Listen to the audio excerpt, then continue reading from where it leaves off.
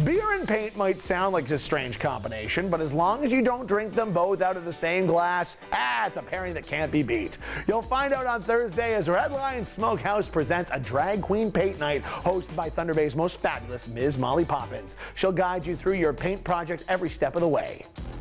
Front Row Center is brought to you by Dragon Hills Golf Course and Driving Range and Comar's Dragon's Den.